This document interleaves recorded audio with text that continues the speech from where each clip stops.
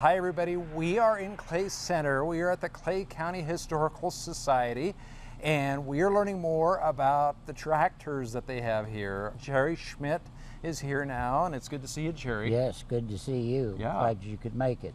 We've been here before, but it seems like you keep adding or more things show up here. Yes. We've added about six or eight, and this is some of Forrest Pence collection. Remind us again who Forrest Pence oh, was. Forrest Pence farmed on the north side of Harvard, and as a young boy, his dad sold a steam engine, and he said when it left the yard, someday I'll own as many of those as I want. And I think he told me one time he had traded, bought, and traded over 60 steam engines in his lifetime. And then you eventually came. I retired from being an elevator manager and a grain broker, and I used to work with him part time. And then when I retired, I think he thought I was the hired man, so he left that collection to me. Do you have most of the collection? Is it most of it's it in here? Most of it's here. Most yes. here in this Well, museum. Yeah. What is new? What are some of the newer items? Well, the newer items is the big 30, and it's a 30 horse. It's kind of unique because there isn't a lot of 30s left.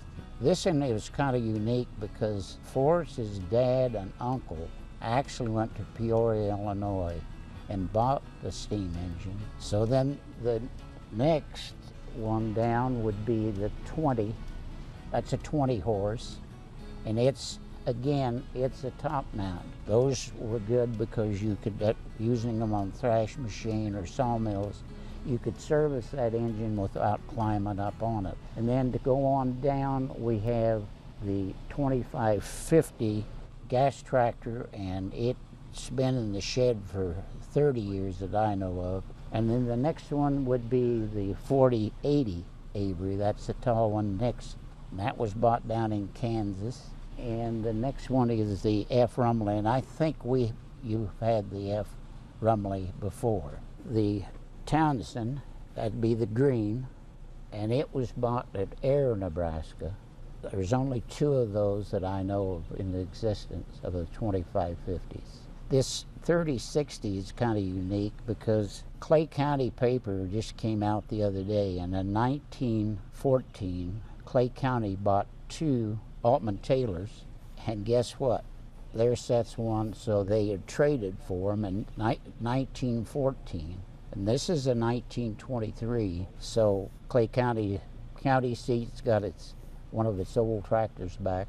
And there's a small Avery right here, this 1915. It's an 816. It's the smallest one they made. wow, so some new items, but a lot of old favorites here.